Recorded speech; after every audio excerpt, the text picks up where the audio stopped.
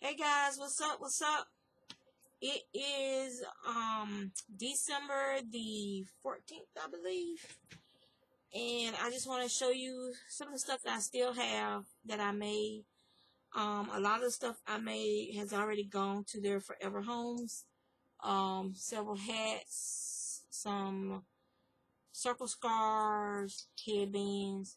That stuff's already out, gone.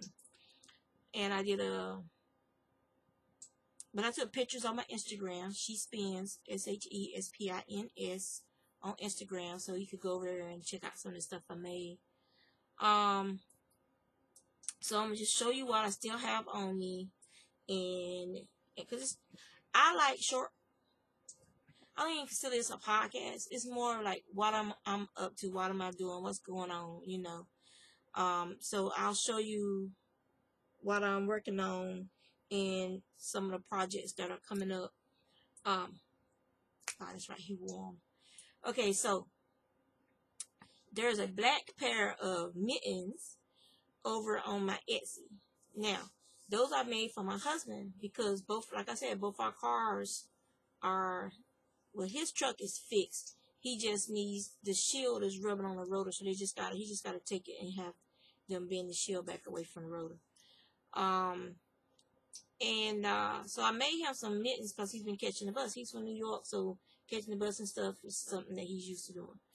Um, and so he was getting on the bus, first time wearing them, I think, or maybe it was the second time wearing them. And he lost one of the mittens.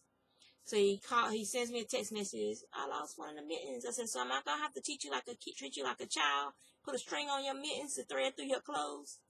He was like, mm, you know, kind of thing. So I made a replacement mitten and I took some red yarn and I made and I did a chain from one mitten to the other. He's tall, so he got a long wingspan, but it's long enough that it'll they'll go through his sleeves and stuff, and then they hang, you know, and you put the mittens on. So I have to worry about him losing the mittens no more. Cause that's like three hours of work. Um, and I also have to count. I can't just eyeball, you know, the mittens and then I also, since it's crochet and I'm using a, a, thicker wool and the larger hook, I also have to take and weave in yarn in the areas where there might be gaps at. And so I had to take care of that little fiasco. And so, so he has his, his new mittens. And so now, and I had another pair of fingerless gloves that I made. They were conversion mitts um, gloves so that they have like a little hood over them. Those pictures are up. They were black and gray. Um, the pony, the ponytail, what do you call it, messy bun hat with the matching scarf. And then I made another hat for a little girl. And I had um, where she could change out. I made two flowers so she could change out her flowers. Um, and she really liked it. Her grandma sent me a picture. Um, let me see. I made it show it to y'all.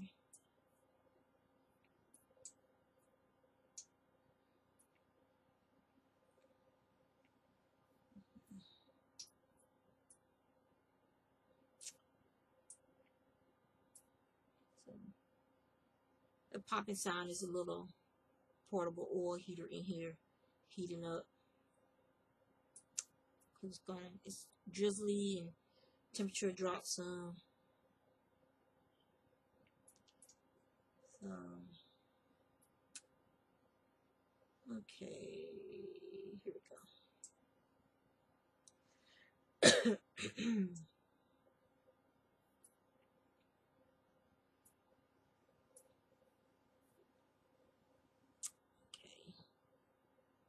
Oh, there you go. So she has a big pink flower.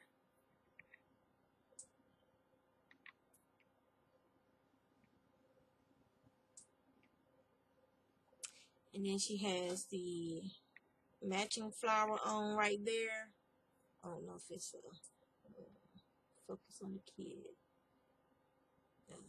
Come on, phone. There we go. it's not focusing. And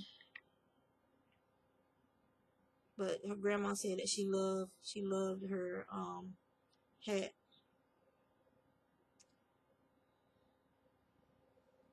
So, um, so what else?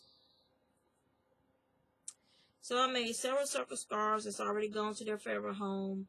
I made another um these this uh turban twist headband. I made a couple of these. And this is what it looked like when you put it on. So that's what it looks like when you put it on. Okay. And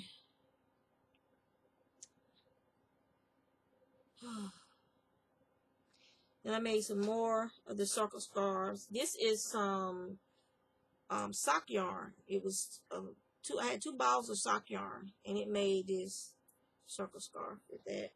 So it might be what I might do with some of my sock yarn. Make some more um, little um, circle scarves for myself. And then I have this one, which is going to be a gift for somebody I know that loves orange. And then I did this one in red.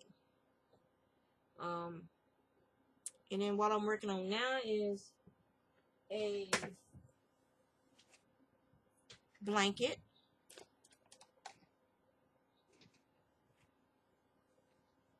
So I'm working on a lap then for an elderly person. Um, and after I finish putting this turquoise in there, I have this mandala cake that I'm going to put in there. And hopefully that'll make it big enough. Um, so yeah, so that's what I've been up to. And the project that I'm currently working on, excuse me, is uh, I don't know how to say it. I keep not saying it right. Suthula, Sithula, Suthula, Chichula, however you say his damn name. But It is a free pattern. Um, from Suthula crochet.blogspot.com. But it's a free pattern. That's what it looks like. Okay? And the wings are going to be black. It's purple. And the wings are going to be black. But I'm making the tentacles. And, and I'm making it a little different. You know, I got to put my own spin on it. So, so on the tentacles, I think this thing is first.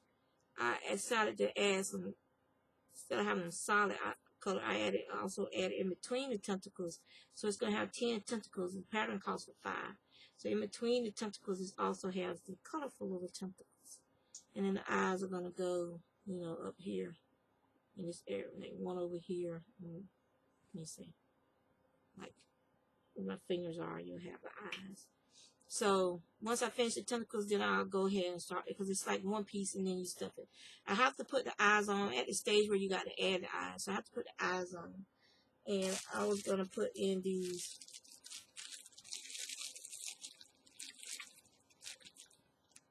these orange cat eye cat eyes. I don't know if you guys can see them. Yeah, but they're orange. I'll put those in. But I'm having fun making this um, amigurumi thingy. So, um, a couple months ago when I was in Winston-Salem, I went to a yarn shop there and I purchased some of the Jelly Beans um, yarn from Plymouth. Yarn, um, and it's 75% acrylic and 25% wool. That orange scarf is made out of this uh, yarn. I only have one ball left, and it's this blue, and I'm going to do another one of those scarves. Um, the scarves is just a simple double crochet pattern, and I'm using my, not this one. This is a M. I'm using my L hook. Yeah, this one. I'm using my L hook on those patterns. This is a Susan Bates hook. Um, I prefer Susan Bates. Even the little F hook that I'm making my um this amigurumi from is a Susan Bates hook. Oh, here fire trucks.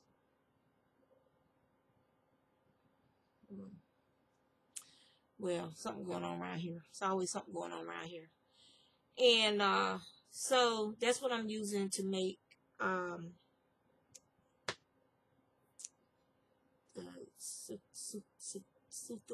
I got fiber going up my nose and ugh, probably sneezing now. So works in progress. That other works in progress beside the blanket I just showed you in the in the sutula is I still have yes Sharon my socks. I still have the socks that I started. God knows how long ago. The Knit Picks uh, socks in the Felici Foxglove colorway. There's there's still that's as far as I got with them. I got one sock. I got the I have the afterthought heel. Afterthought heel has been marked in it, and um, and that's as far as I got. Now you know I I made Ashley's husband a, husband a pair of socks, but it was using the Charisma Chunky uh, bulky yarn, and I still have the fingerless gloves that I was making another pair of those fingerless gloves using that broken seed stitch with some of my hand spun. That brown is some hand spun. And I haven't, I just haven't had a chance to work on. Um, trying to get all this Christmas stuff done.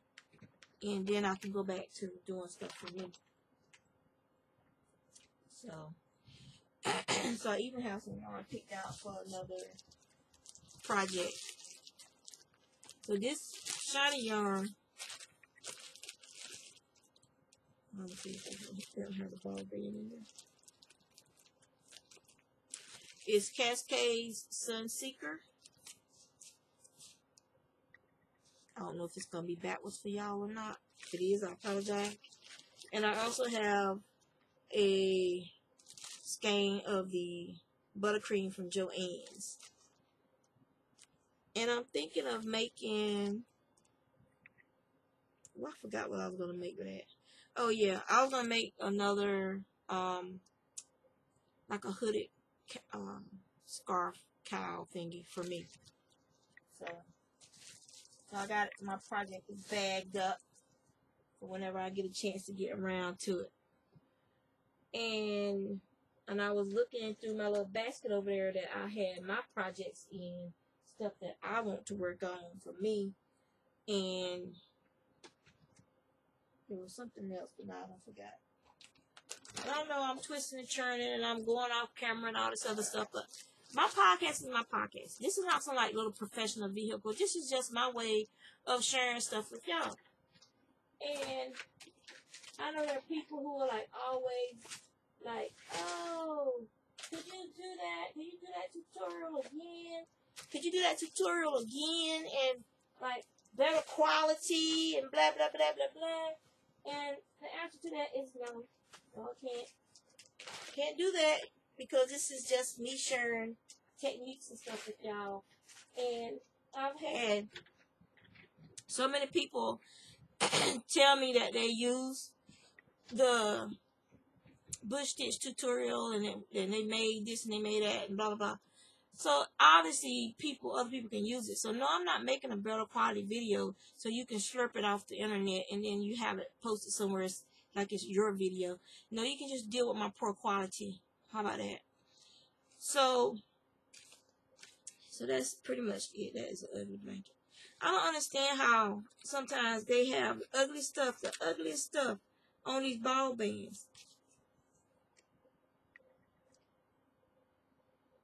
That crochet blanket is ugly. Fugly. The color is fugly and the pattern is fugly.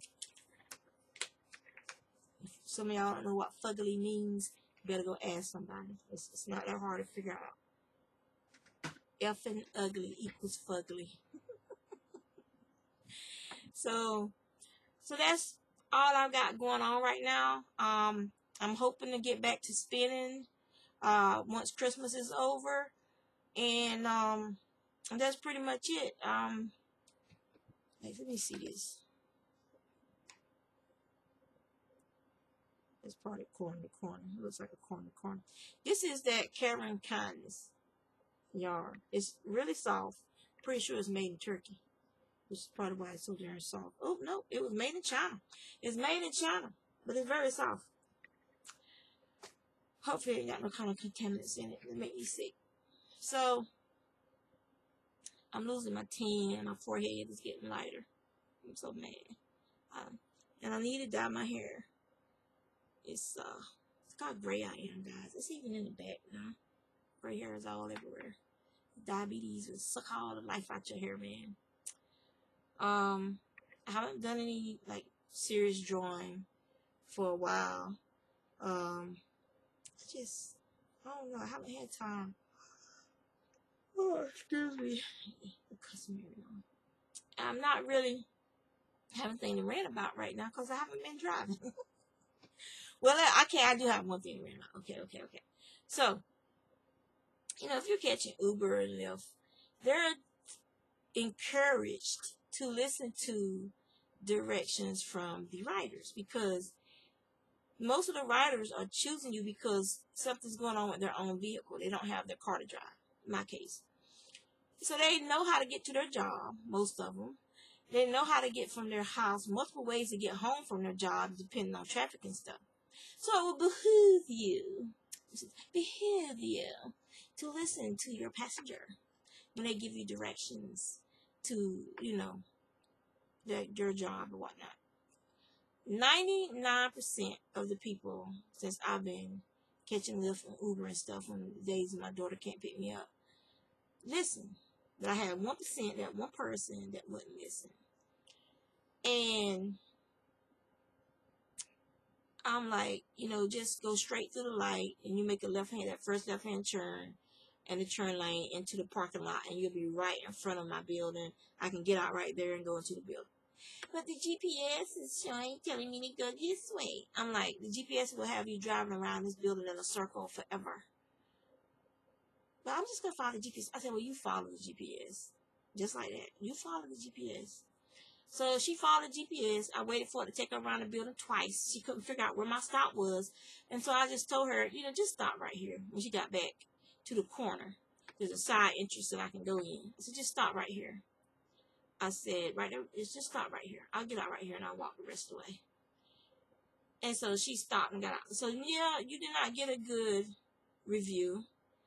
Um, because the customer is always right. So especially in this case, you know, I won't about to be late for work because yeah, I want to follow my GPS. Yeah, you follow your GPS. Keep following your GPS, and you might find yourself in the ocean some damn where, you know. But yeah, so everybody else, if I give them directions, they're very happy to get them. And you know, and some people be like, "Oh wow, I didn't know you could do drive back here, this, that, and the other. I thought this was just shipyard. Just took people to the shipyard." Like, no, there's a whole neighborhood back here between the two shipyards. So that's the only rent I have, you know, other than without my vehicle. but it's it's being worked on. It's like I said, the whole rear axle has to come out and a new one put in. But it's cheaper than a car payment, having another car payment, and because the engine on it is solid. Um, so it'll probably last me another 10, 15 years. So I need once I get it back, I need to start saving, put money aside to eventually replace Moya. Now, if I won a large sum of money, a large amount of money came into my life, I could just take Moya to some fancy performance auto shop and have her rebuilt from the ground up and it'd be like having a new vehicle. Because, you know, it's a 2000 um, Yukon, 2002 Yukon. So it's it's it was a family vehicle, but that's what I've been driving for the last 2002 to now. It's 16 years I've been driving that car. Yeah. So, so that's it. That's all I got going on. Um, hopefully everything is good with you guys. Oh yeah, and, and if you go to my Instagram account, you'll see the pictures that I took. Let me see if I can find it real quick.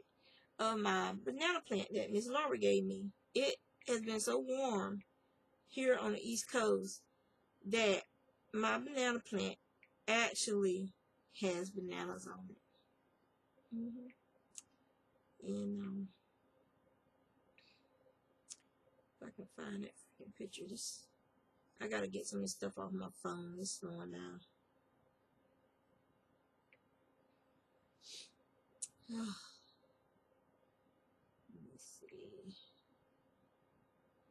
me Okay. How's that? Guys, you see that? And that's the flower. That big thing right there is the flower. And and see the, the thing around the top? That's the um flower the little flowers are hidden up under the leaves. And then when they, they come out they'll form more bananas if they're fertilized.